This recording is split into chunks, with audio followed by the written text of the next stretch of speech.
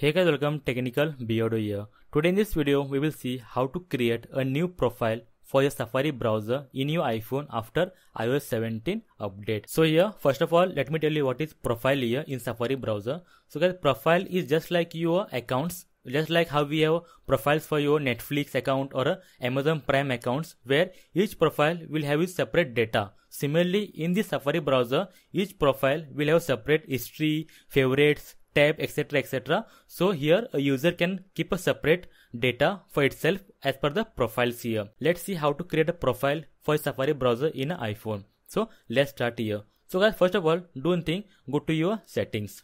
Okay? In settings scroll down and find an option called safari. Okay? It's a browser. Open safari. And here on the first page only scroll down.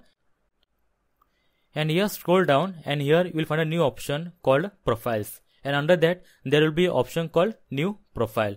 Just tap on that. Once you tap on new profile now the actual work starts here. So there are basic things here very simple one that is your name. Okay? Just name your profile just like technical beardo i will name it. Okay? Name it and here choose your icon as well. So as per your choice you can choose the icon along with the color as well. Okay? So just customize this as per your choice.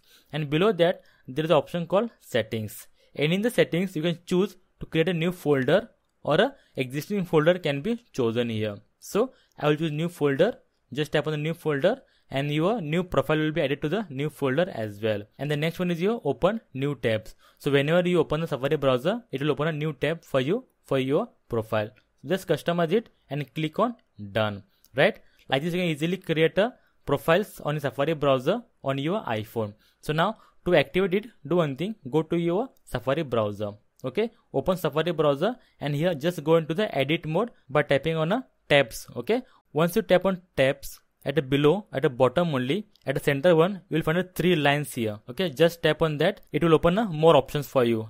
And at the last one okay? At the last option that is your profiles. Just tap on that and here from here you can choose your profiles to activate and here you will see that once you tap on the profile here automatically enter data old data is gone. And here you have fresh complete new data or a home page for your safari browser in your iphone.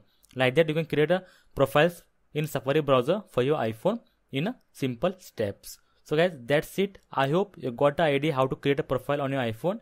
If it helped you then please give a like Please subscribe for more videos regarding iPhone tips and tricks and iPhone solutions. Until then, thank you very much. Bye bye. Take care. See you in the next video.